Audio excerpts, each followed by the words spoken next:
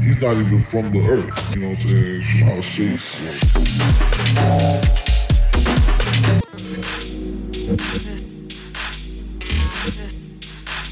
You.